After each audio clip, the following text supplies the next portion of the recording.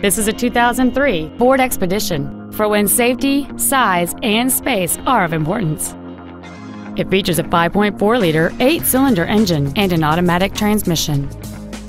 Features include power adjustable driver pedals, alloy wheels, cruise control, a CD player, running boards, a security system, fog lamps, an anti-lock braking system, a power driver's seat, and a limited slip differential.